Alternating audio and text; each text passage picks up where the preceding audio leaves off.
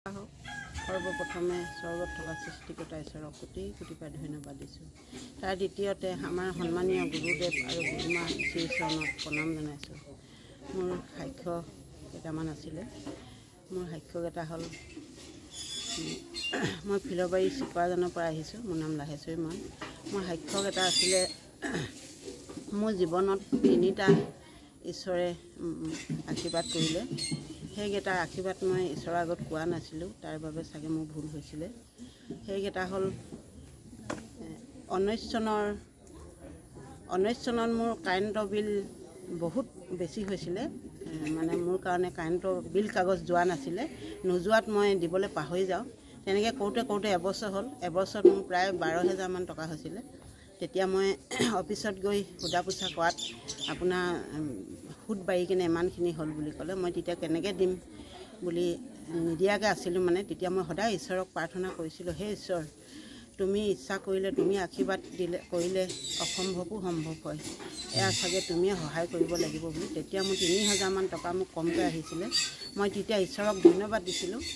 তাৰ দ্বিতীয়তে তেইছ চনৰ জানুৱাৰী মাহত মোৰ ল'ৰাটো এক তাৰিখ দিনাই ওচৰৰে মানুহ এজনৰ লগত কাজিয়া লাগি মাথাতে দুখ পালে মানুহজনে মাৰি দিলে।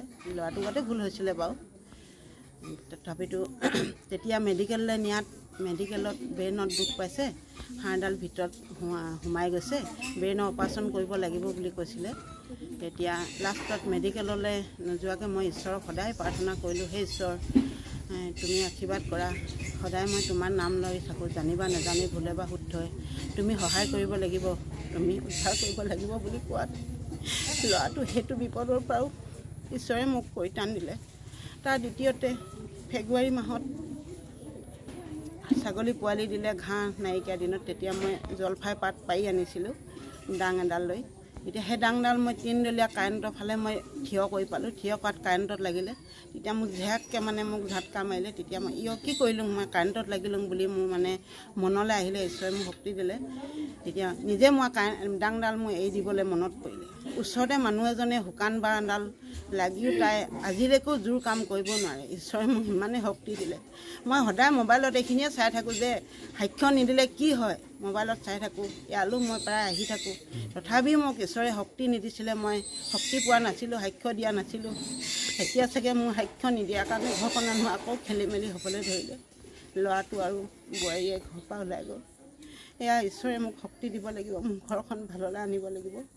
আৰু মই যি বিশ্বাসেৰে মই সদায় ঈশ্বৰক তুতি কৰি থাকোঁ যে ল'ৰাটো আৰু বোৱাৰীজনী ছোৱালীজনীয়ে মোক বিশ্বাস নকৰে মই বহুত অশান্তিত প্ৰাৰ্থনা কৰি থাকোঁ। কিন্তু সিহঁতেও যাতে ঈশ্বৰৰ শক্তি পায় ঈশ্বৰে সিহঁতক আঁকোৱালি লয় বুলি মই সদায় তুতি কৰোঁ। এই তুতি যাতে ঈশ্বৰে মোক শক্তি দিয়ে তাৰ কাৰণে মই প্ৰাৰ্থনা কৰিলোঁ। আৰু যিমানবিলাক ঈশ্বৰৰ বিশ্বাসী দাগ দাখি আছে সকলোলৈকে মই Ndio namba tunazo ya eh, mhaka